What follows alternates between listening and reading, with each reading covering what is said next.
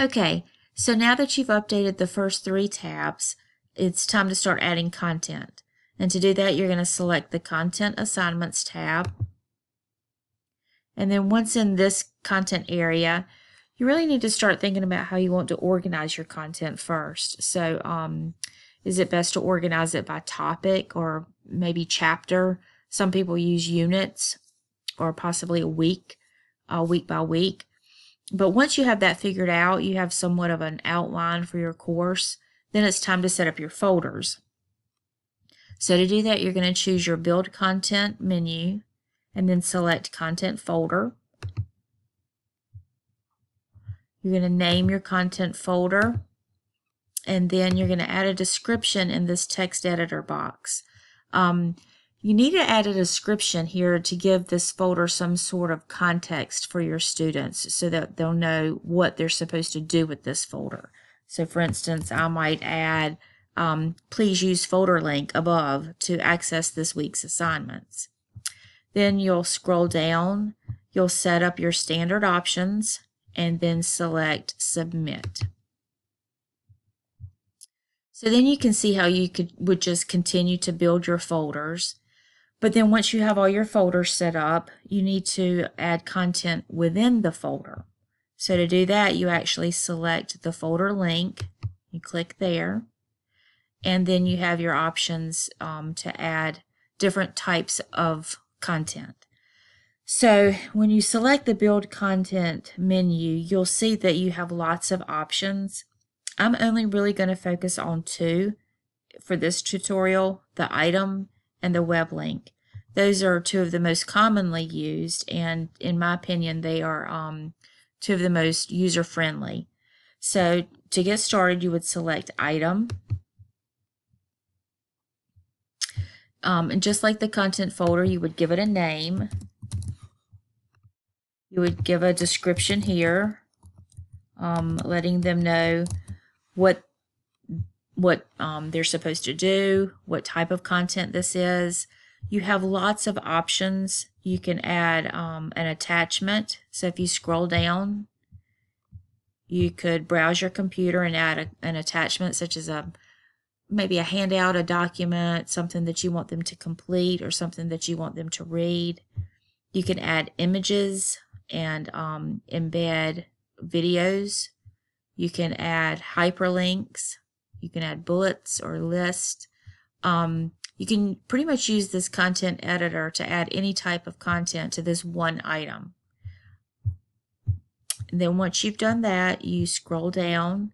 Just like with the folder, you set up your standard options and then click Submit. Um, now that's just one type of, uh, one way to add content Another may be um, a web link. So to do this, to do that, you go to the same build content menu. You would choose web link. You give it a name. And then you go to, um, this way, I usually have multiple tabs open so I can just kind of toggle back and forth. So I will have um, YouTube open, for instance, if there was a YouTube video that I wanted them to watch, I would have YouTube open in another tab. I would just copy and paste that URL. And then again, in this um, text box, I would type a description here to give them context, tell them what to do with this. It might be that you um, tell them to use the web link above to access the video tutorial. Wow, spelling is an issue here today. Um, but you get the idea. And you can use some of the same features as an item. You can add an image here. You can use hyperlinks, um, text features, te change your text font color. Be careful with your colors though. You do want them to be, you know, have enough contrast. You can use the highlighter. So um, all of those features are available just like they were in the item. You would scroll down. You could add an attachment here. and then you would set up your options as needed and then select submit.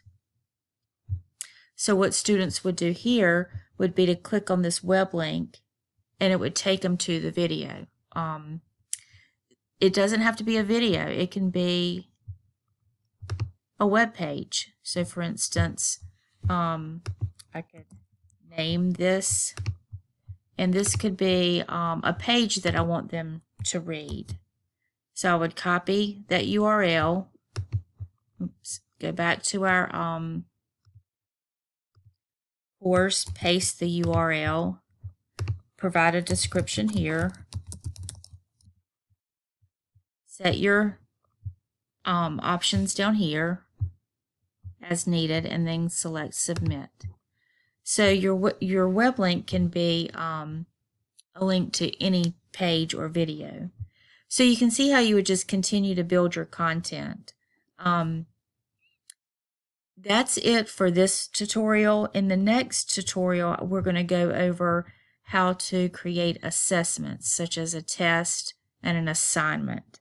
Um, we're going to go into a lot more detail, or I'm going to provide some videos for you that go into much more detail. But I did want you to know that uh, the main types of content that you will be adding to these folders are either an item, a web link, or you're going to create um, assessments such as tests or assignments. So that's it for this uh, portion. Um, again, if you have any questions, please feel free to contact me. And um, and that's it. Thanks, everybody.